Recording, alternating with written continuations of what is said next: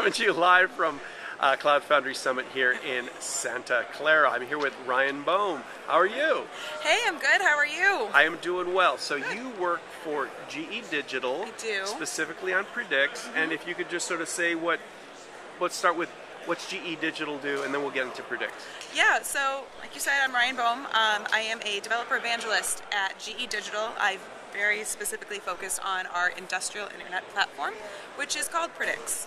So um, what we're doing with Predix, it's completely run on Cloud Foundry, which is why we're here live from the summit. Makes sense? Yep. And if you can think of the different industries that GE is in, um, aviation, healthcare, lighting, a lot of different things with a lot of big data, we are creating a platform where you can take that data and make it smarter. So our platform has microservices, much like you understand uh, how Cloud Foundries run, where you can create and build your own applications that manage these really, really big products. So we're coining the term um, industrial Internet of Things, which you may have heard from a lot of different places around here and some of our competitors around here as well.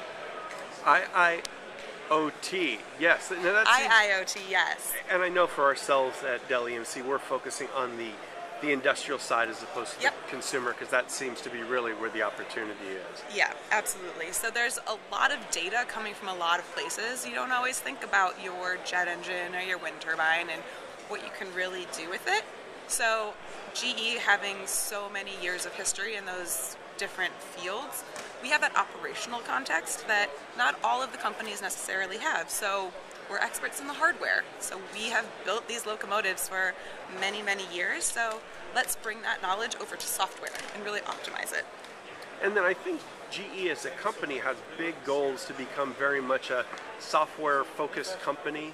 Uh, Absolutely. what were some of the things by the year blankety blank you were supposed to be? I don't know if you know those stats, but So um, we're going very software focused, obviously building up uh, Predix. So we've been GA about a year and a half now, I would say, and starting off by GE for GE, but then we're also building on GE for the world. So working with a lot of our big customers, Pitney Bowes of the world, things that you've heard of that we're very publicly advertising, and we're building up our developer platform. So it's for full stack developers at the moment, and we're going for 40,000 active developers on our platform right now. So big company, big goals. so when did the uh, developer uh, evangelism and the developer attraction program kick off? Was that right Yeah. from the beginning or? So the develop we're called developer relations. So it was a facet of product marketing, but we also have a team of engineers that work on developer relations that focus on a lot of our tutorials and technical content and things that you see in, on our Predix.io website. So go to the resources page there and you'll see a lot of what developer relations has to offer. So we're really about enabling the developer and creating interactive ways to get involved and we've been around since the since the beginning of Predix. So just build that community up. And then I know this may be early for you all, but do you have a certified Predix developer program? Are you working on one? Yep, so we do have a Predix certification.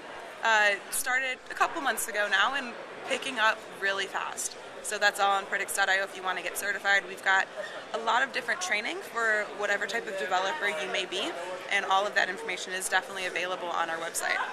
And what are some of the big partnerships? Obviously, you talk about Cloud Foundry. I think Yeah. I was at an event where SAP was talking about a big thing they're doing with you all. Are you working with most different uh, of the different distros of Cloud Foundry? So we have a lot of various partnerships, and a lot of those partnerships manifest themselves in tiles in our catalog. So we try and put a lot of our partnerships as microservices, and people like SaaS are on there, as you can see in our catalog. Cool. And then just to, to wrap up with, what do what's the, the future hold for Predix over say the next year?